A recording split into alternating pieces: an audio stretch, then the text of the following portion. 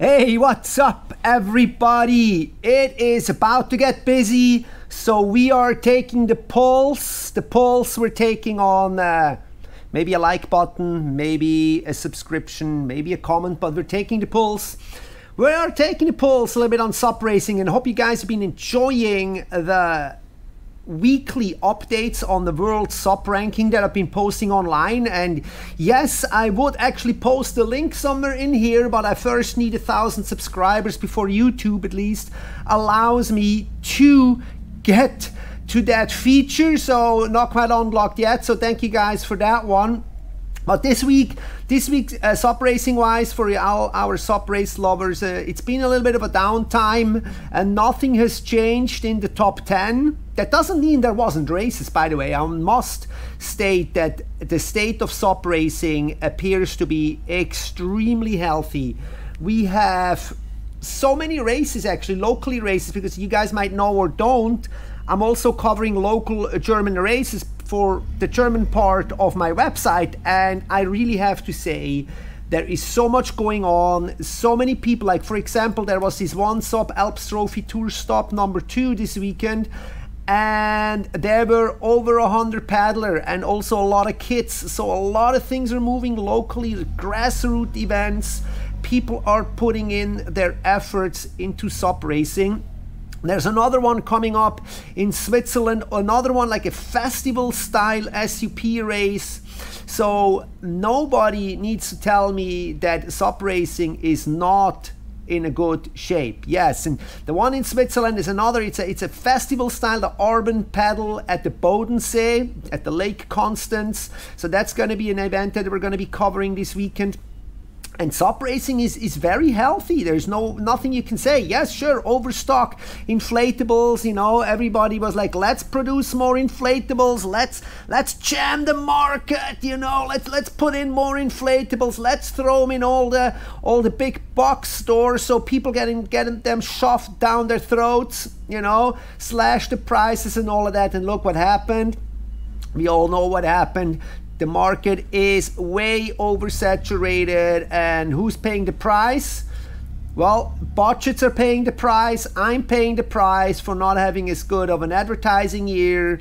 Um, SUP stations and rental places are paying the price because well actually maybe they're not paying the price because they're getting lower prices on actually their rental gear that they can rent out later uh, but uh, companies are certainly paying the price. Uh, the people who are supporting sup racers are paying the price. For example, the entire Team Fanatic, as we all know, has paid the price for that one. So yeah, but sup racing is very, very healthy. And this weekend is gonna be a busy one. As I said, it's gonna be a very busy one. We have a big Euro Tour SUP race coming up in France. And as we've seen on social media, Connor Baxter has already traveled over to Europe so, which gives me uh, the impression that he's not just going to go over there for one race, because after the next weekend, there is going to be the Scharbeutz German Sup race. That's also going to be a big one.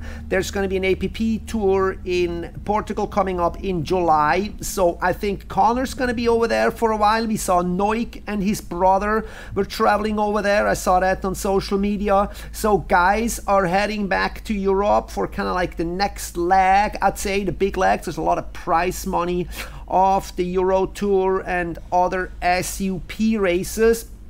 I did not see Fiona Wylde. She's still in the top 10 in the sup rankings, but she's in Switzerland uh, doing the wing foiling race on the Lake Silvaplana. So I'm wondering if she's going to join in at some point for sup racing or if she's going to stick with the wing. And then not only in Europe, it's going to be busy. Next month is Downwind Month in Hawaii, and we're going to have a lot of content coming out of that one. We're going to start with the Molokai Holokai channel crossing. We're going to be reporting from that channel crossing from Maui to Molokai. That's going to be a big one, kind of like a weekend a weekend over on Molokai with starting on Friday getting over to Molokai. Then the next weekend we're following with the Paddle Imua and then after that we're gonna have the M2O and we have some legendary names from the SUP world returning to Hawaii and that is going to be super cool because now all those channel crossing races are no longer uh, just paddle races. It is everything. We have particularly at the Molokai and at the, at the Maui Molokai and at the Paddle Imua we have OC1s, OC2s, we have SUP foiling, we have wing foiling, we have SUP with like anything goes, you can make it down those bumps, you can go.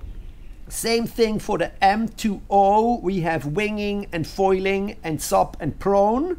And we have the uh, Maui to Molokai with the same thing. So everything can go except the M2O remains winging and SUP foiling and prone and SUP. But as you guys can see, our sport is diverting and everybody's kind of doing a little bit of everything and we're gonna have so many videos coming out of this and I am guarantee you for 100% sure we're gonna see you in one of those next videos.